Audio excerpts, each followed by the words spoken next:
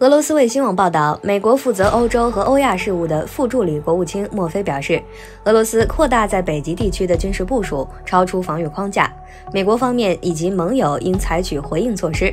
莫菲还表示，五角大楼要做出反应，同时表示，俄罗斯正在建立北极司令部和新组建部队，还修复了二战时期的基础设施，在科拉半岛部署 S 四百防空导弹，建设机场和港口。这种扩张军事能力的做法超出了领土防御框架。不过，俄罗斯在自己国土部署防空导弹，为什么被美国称为这种扩张军事能力的做法超出了领土防御框架？美军在日韩、在沙特阿联酋、在波兰、捷克、罗马尼亚部署导弹，又突破了什么框架呢？阿根廷从来不抱怨俄罗斯在俄罗斯领土部署防空导弹，因为阿根廷人也不会去。美国人抱怨，那是因为美军真的经常靠近俄罗斯在北极的部分领土和领空。俄罗斯北方舰队司令莫伊谢耶夫海军中将就表示，北约在北极地区举行军演和军事侦察次数正在大幅增加。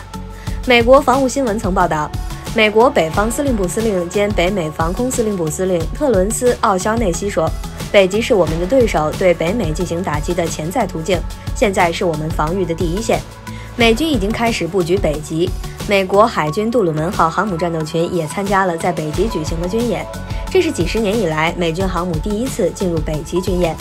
美军和加拿大军队则持续在阿拉斯加等地进行预警和航空演习。美国空军正在制定全面北极战略。奥肖内西表示，北极已经不是避难所，而是我们防御的前线，要对美国空军在阿拉斯加的五十多个雷达站进行全面升级。美国陆军发现，寒冬地区进行部署的武器包括在零下四十五度进行作战的联合全天候全地形支持车。美国海岸警卫队在订购更多的破冰船。美军极地训练保留滑雪飞机在冰面起降能力。美国海军的《美国海军北极路线图（二零一四到二零三零）》要求，美军太平洋舰队、大西洋舰队都可以在北极进行军事行动。美国空军第三飞行联队、第三百五十四飞行联队以及第一百七十六飞行联队增兵北极，还有一个五十四架战机 F 三五隐身战机联队。美国空军则计划于二零二二年之前，在阿拉斯加进驻一百多架包括 F 二二 A 和 F 三五 A 在内的第四代战机。美国陆军已经强化在北极地区军事演习，同时举行多兵种严寒地区联合作战演习。甚至美国军事专家都担心，美俄将会在北极附近巴伦支海爆发第三次大战。